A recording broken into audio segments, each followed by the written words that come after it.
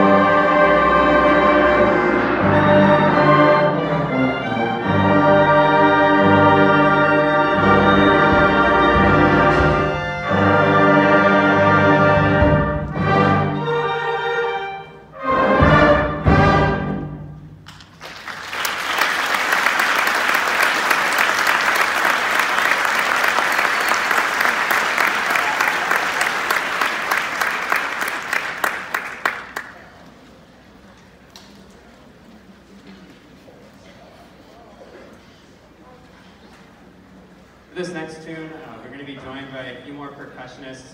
Uh, I just want to say a word of appreciation. These, uh, Um, many of the students back here uh, are actually not enrolled in this class. They are here to fill out some of the parts.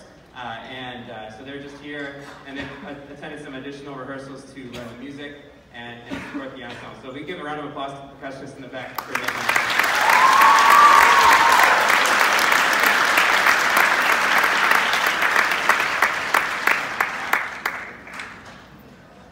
and to continue to fill time while they're setting up, uh, just want to uh, say a word of appreciation to you uh, as their parents, uh, family members, supporters, community members for being here and, and taking in what they're putting out. Uh, it's, it gives a lot of value to what they do to be able to present it and share it in this way uh, and to you know, continue to invest in the lessons and in the practice time and making music important in their lives is sometimes difficult, but ultimately, uh, I hope that you're finding it rewarding and seeing the progress that they're making. And uh, I know I really appreciate it, seeing what they do each and every day. Uh, it's super cool to see what they, how they improve, and even day to day, week to week, it's it's huge. So uh, they are wonderful, and you are wonderful for supporting them.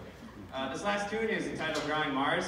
Uh, basically, it's supposed to sound like this film score, Aliens, Martians, right? Uh, but it kind of has a, a, weird history of like the kind of the impetus of like why that whole rumor got started and like is there life on Mars? And there's three books published that say that there was in 1905, and now we have to deal with it, you know, 100 something years later. So this piece is to kind of uh, play off the wonderment that you might feel looking at the sky and thinking, what is up there?